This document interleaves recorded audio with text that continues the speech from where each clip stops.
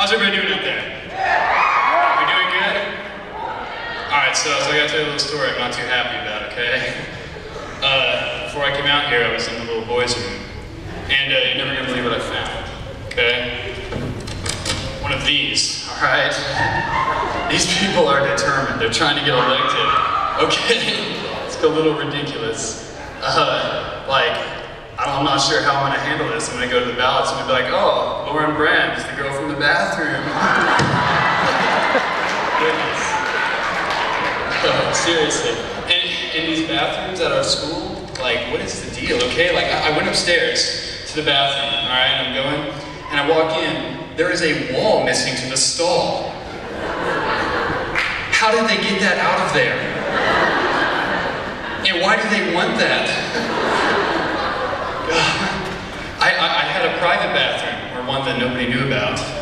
Okay? I come back from spring break, now it's a faculty bathroom. Thank you, faculty. Did you guys have a good spring break? Alright, I did too. Okay, I went to uh, South Padre. Yeah. It's a little island off the coast of Texas. And uh, pretty crazy island. You see, it's only about three miles of uh, actual stuff, and the rest is just desert. But on this three miles, there's one road, one road that cuts this island in half. Swear, on those three miles, they have more ambulances than they have here. It is ridiculous. You're walking, and out of nowhere, you gotta get out of the way. These ambulances are gonna hit you, and I'm starting to question myself. Like, what if they hit me? Are they gonna stop for me or just keep going? And I'm thinking, you know what? I'm like, my parents are paying for this ambulance in their bills. I mean, and I've never ridden in an ambulance. Are we getting our money's worth? So I thought about, you know, what if one time a year you get to use an ambulance, like, like a free pass? You can use it for like, uh, if you're late to work, or prom. Prom would be perfect. Uh, my, my girlfriend Taylor, she's somewhere over here. And uh, I don't know if you know Taylor, but if you do, you know one thing about her. She gets a little cranky when she's hungry. Which, uh, I mean, it's kind of the opposite of me. When I get hungry, I start being nice. Because I'm thinking, you know, no one's gonna buy me food if I'm mean to them.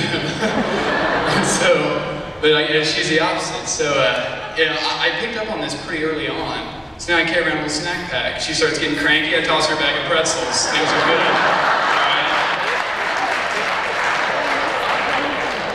Yesterday for lunch, I went to the cafeteria, I was gonna get a bag of chips, right? And uh, I think I actually might have the bag here. Hold on. Oh, I do.